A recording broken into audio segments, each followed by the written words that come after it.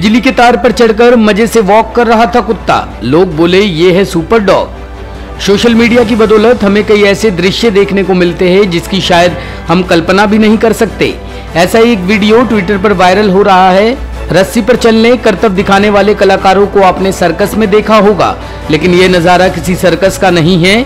Video में एक street dog दिखाई दे रहा है। ताज्जुब की बात यह है कि ये स्ट्रीट डॉग सड़क पर नहीं, बल्कि आसमान में टंगे बिजली के तारों पर चलता हुआ दिखाई दे रहा है। एक कुत्ते का इस प्रकार से बिजली की तारों पर चलने का वीडियो सभी को ताज्जुब में डाल रहा है।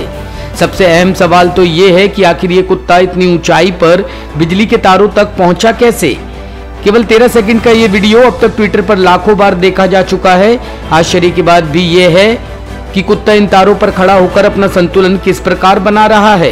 इस वीडियो को देखकर ट्विटर यूज़र्स कई तरह के कमेंट कर रहे हैं। कई लोगों ने कुत्ते की सुरक्षा को लेकर भी चिंता ज़ाहिर की है। Bureau report team top story